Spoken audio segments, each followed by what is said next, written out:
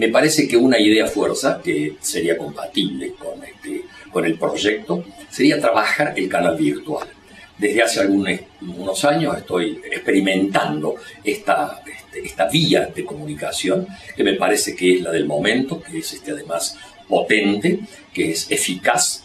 Y bueno, este, la transmisión eh, de una forma sistemática, este, ordenada, desde un grupo como este que se, se perfila como plural y de, y de nivel, este, orquestar, ordenar eh, la comunicación a través de la vía virtual, cursos e-learning, redes sociales, etc. Eh, a destinatarios que habría que, por supuesto, eh, de alguna manera identificar y, también convocando desde ese canal, ¿no es cierto?, a la participación activa de todo el grupo que componemos Esperanza Federal.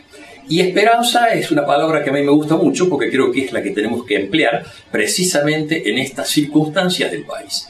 Hago algunas distinciones semánticas entre esperanza y, optimismo. El optimismo de corto plazo, los argentinos sensatos y adultos este, no debiéramos caer en esa falacia. Creo que no hay optimismo, no, o no debiera haberlo, pero sí puede haber esperanza.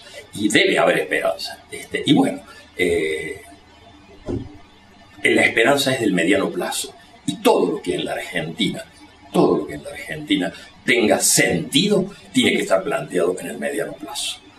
En el corto plazo, buscar la forma de que ese mediano plazo aparezca con frutos. Nada más.